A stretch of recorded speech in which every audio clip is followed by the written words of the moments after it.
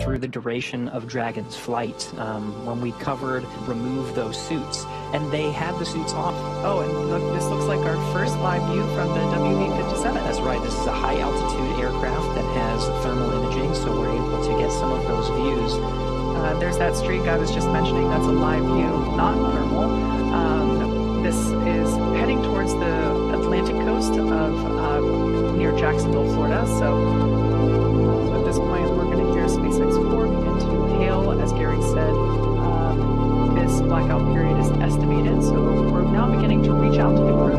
have regained that communications capability.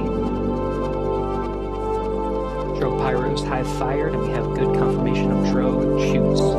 Two drogues.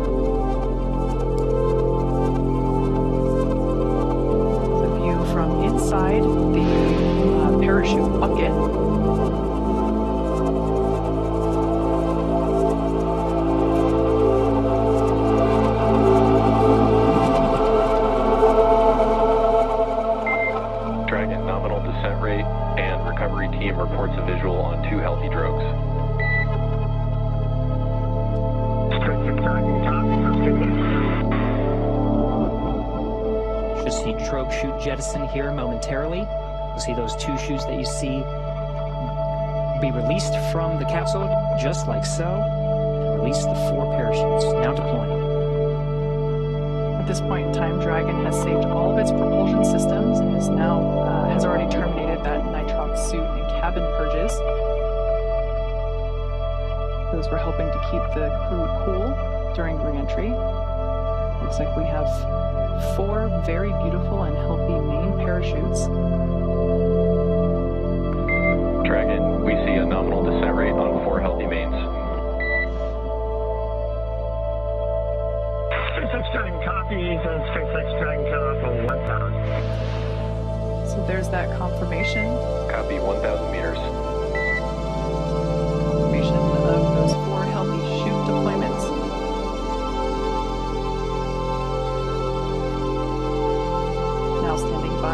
Splashdown.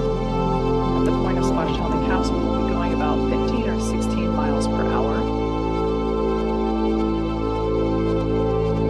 Continuing to decelerate from a, a rate of, uh, from a speed of about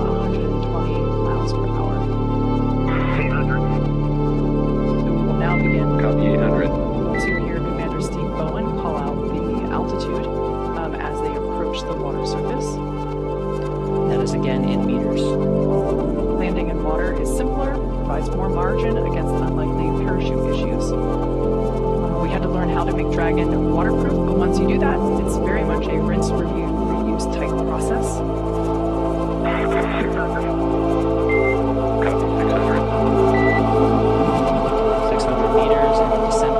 as predicted, meaning we're targeting that splashdown time in about a minute.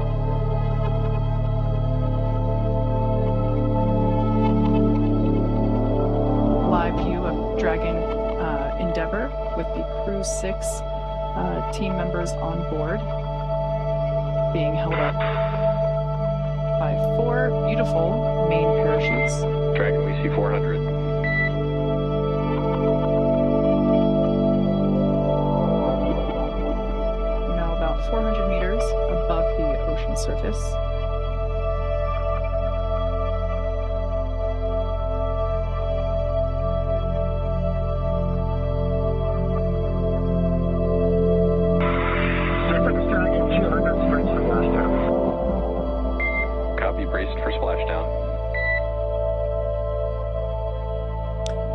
seats have been rotated in a position to take the loads of uh, reentry and parachute deployment as well as splashdown. The crew is braced.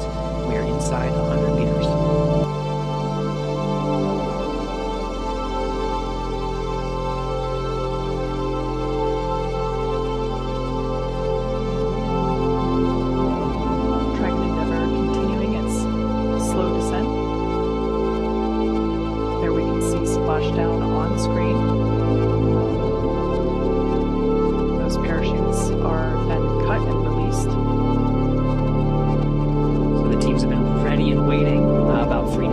away, so it was going to take them about 30 minutes to make their way to Steve, Woody, Sultan, and Andre inside the Dragon. You see the recovery forces uh, and some of the views that you're seeing. Of course, these views being provided by the recovery uh, vessels. You saw there was a helo deployed, uh, providing some visuals uh, and lighting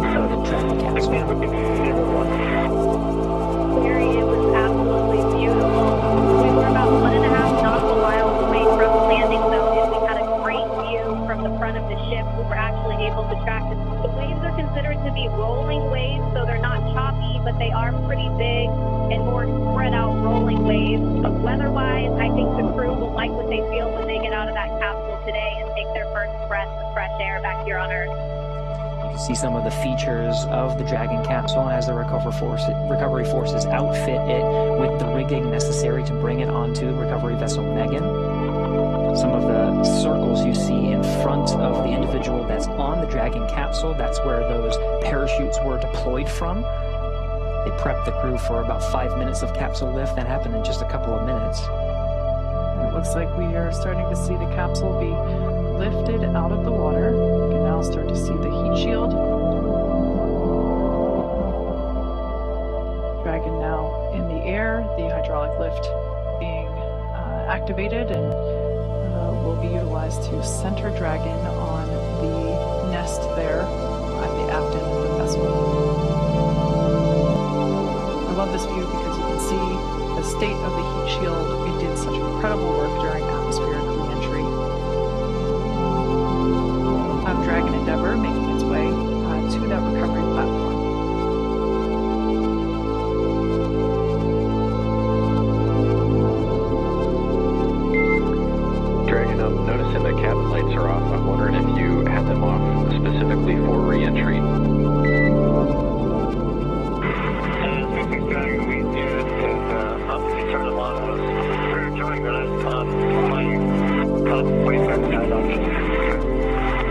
We're enjoying the we can see what's going on outside the to from the outside is now open. You see the recovery team is open and waving to the crew. First humans that Crew 6 has seen uh, on the ground in six months.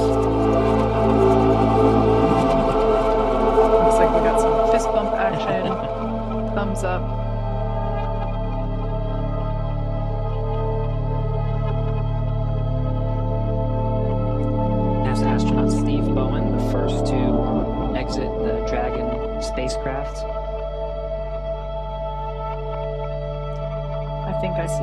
Smile on his face.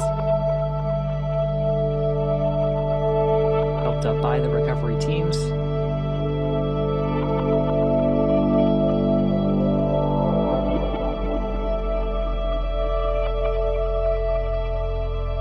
Now being seated in a rolling chair to help move him back to the medical bay, where he will get a quick checkout with the flight surgeon. And again, this is standard procedure.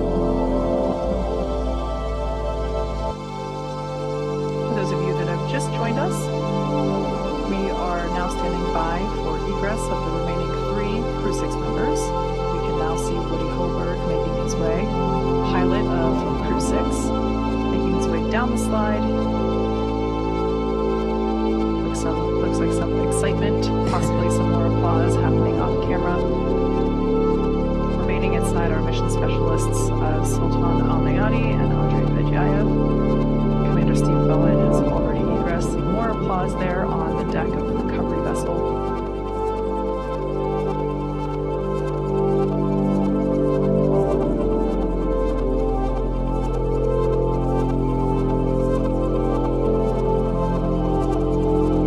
Roscosmos cosmonaut Andrei Fedyaev being assisted by the recovery teams onto the rolling chair. He'll also be uh, positioned over to the medical facilities. Last remaining crew member inside Dragon Endeavour now is Emirati astronaut Sultan Al Neyadi, completing 186 days in space.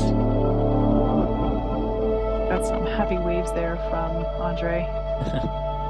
More applause.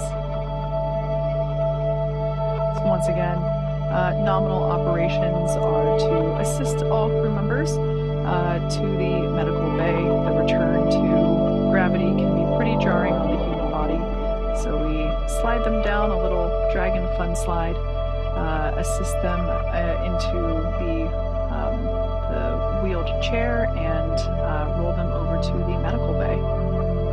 And just like that, the fourth crew member, one hour exactly on the nose since splashdown, um, has now egressed from Dragon Endeavor.